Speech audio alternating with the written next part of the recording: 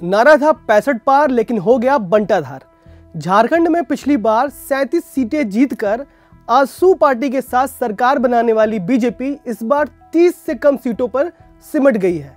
पहली नज़र में लग सकता है कि ये तो सिर्फ़ एक राज्य का मामला है, लेकिन सच्चाई ये है कि ये हार एक कड़ी है, जो शुरू कहीं और से हुई थी और शायद खत्म कहीं और होगी। इस हार का बोझ इतना बड़ा है कि बीजेपी के लिए उठाना मुश्किल हो सकता है। दांव पर एक राज्य की सरकार ही नहीं बीजेपी की पूरी की पूरी चुनावी रणनीति है। जरा कल्पना कीजिए, जिस देश में विपक्ष का कोई नाम लेवा नहीं है, जिसकी खबरें सुर्खियाँ नहीं बनती, जिसके नेता टीवी चैनलों से पलायन करने पर मजबूर कर दिए गए हैं, उस विपक्ष को झारखंड में प्रचंड जीत मिली है। इक्यासी सदस्यों वाले झारखंड विधानसभा में राज्य में बहुमत के लिए इकतालीस सीटें चाहिए। लेकिन झारखंड मुक्ति मोर्चा, कांग्रेस, आरजेडी के गठबंधन को इससे कहीं ज़्यादा सीटें मिल गईं। तो लग रहा है कि ये विपक्ष की बड़ी जीत के बजाय बीजेपी की बड़ी हार है। उसकी नीतियों की हार है, उसकी रणनीतियों की हार है। और सबसे बड़ी बात यह है कि झारखंड का चुनाव उस संक्रमण काल में हुआ है, जिसके पहले हरियाणा और महाराष्ट्र के चुनाव थे और बाद में अब दिल्ली, बंगाल और बिहार में चुनाव है। ऐसे में अब बीजेपी के सामने सबसे बड़ी समस्या ये है कि उसके परखे हुए जो तीर झारखंड में फुस हो गए, वो आगे नाकाम तो नहीं हो जाएँगे। आप पूरे चुनाव प्रचार में पीएम मोदी गृह मंत्री अमित शाह और राजनाथ सिंह की रैलियाँ याद कर लीजिए। हर रैली में हिंदुत्व के एजेंडे का ज़ोर था, राष्ट्रवाद का शोर था। रैली दर रैली ये बात कही गई कि हमने मंदिर के काम को मुकाम तक पहुँचा दिया। ये हुंकार भरा गया कि अब सीए लाए हैं, एनआरसी भी लाएँगे। घुसपैठियों को देश से निकालना होगा। कश्मीर में दिखाए गए आर्टिकल 370 नाम के शौर्य का ज़िक्र था। उससे पहले तीन तलाक पर नया कानून था, लेकिन लग रहा है कि इनमें से बीजेपी का कोई तीर निशाने पर नहीं लगा। इसी तरह ध्रुवीकरण का एक और जांचा परखा नुस्खा भी काम न आया। रुझान बताते हैं कि आदिवासियों और मुसलमानों ने बीजेपी से मुँह मोड़ लिया है। राज्य के आदिवासी जल, ज़मीन, जंगल पर अपना हक मांग रहे थे। संविधान ने आदिवासी बहुल क्षेत्रों को जो अधिकार दिए हैं, आदिवासी वो हक मांग रहे थे, लेकिन आपने दिया क्या? आपने रांची के करीब खूंटी में दस हज़ार आदिवासियों को पत्थलगड़ी के लिए देशद्रोही करार दे दिया, केस दर्ज करा दिया। बिरसा मुंडा की प्रतिमा खंडित की गई तो आदिवासी आग बबूला हुए। नतीजा सामने है। आदिवासी, गैर आदिवासी के बीच ध्रुवीकरण की कोशिश फेल हो गई। महाराष्ट्र में भी मराठाओं के खिलाफ गैर मराठाओं को एकजुट करने की नीति फेल हो चुकी है। इससे पहले हरियाणा में भी जाट, नॉन जाट के बीच लड़ाई में हार मिल चुकी है।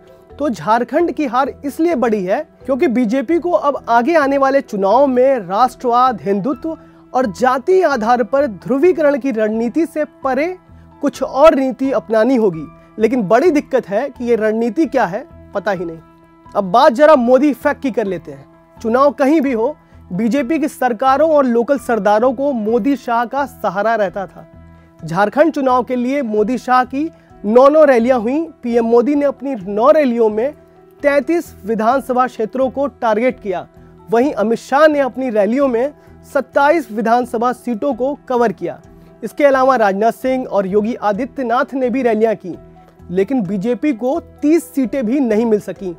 संदेश क्या है? संदेश ये है, मोदी जी का चेहरा दिखा दिखा कर आप लोकल चुनाव कब तक जीतेंगे? महाराष्ट्र में फडणवीस सरकार के खिलाफ गुस्सा था मोदी का चेहरा काम नहीं आया।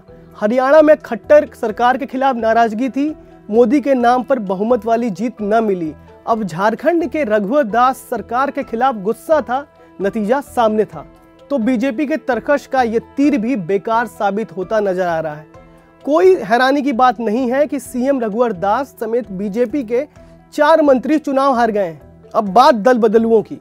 कर्नाटक, महाराष्ट्र से लेकर झारखंड तक में बीजेपी की एक रणनीति ये रही है कि दल बदलुओं के सहारे चुनाव जीत लिया जाए। कर्नाटक में जोड़ तोड़ और कानूनी लड़ाई के बाद यह कारगर साबित हुआ था, लेकिन महाराष्ट्र में यह टोटका फेल दिखा था। महाराष्ट्र में चंद्रकांत पाटिल और उदयन राज भोसले जैसे दल बदलून बीजेपी के काम नहीं आ सके थे। झारखंड में कई दिग्गज नेताओं ने एन चुनाव के वक्त पार्टी बदल दी, लेकिन अपनी नई पार्टी को क्या ताकत देते, खुद ही हार गए। अब कुल मिलाकर बात साफ़ है। मंदिर पर कम और मंदिर पर ज़्यादा ध्यान दीजिए सरकार। प्याज पर पॉलिटिक्स नहीं हो रही है क्योंकि प्याज के सालन की याद किसे है जब रोटी पर ही बात बनवाई है? नागरिकता किसे मिले?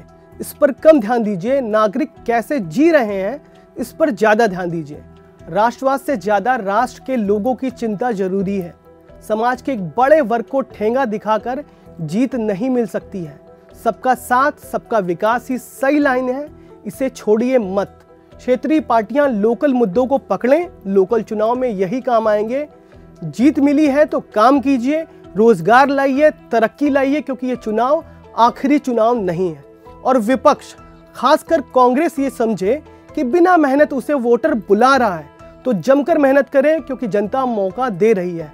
अनादर मत कीजिए, सिर्फ़ ट्विटर पर पॉलिटिक्स से काम नहीं चलेगा।